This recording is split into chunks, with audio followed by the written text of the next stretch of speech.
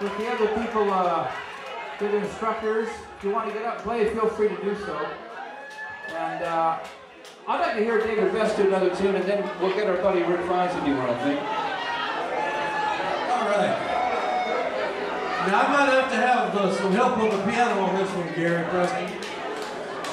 You know, Gary Preston is the reason I'm here. When uh, I needed a keyboard teacher, he told him For about good me. or bad. Don't like me, it's his fault.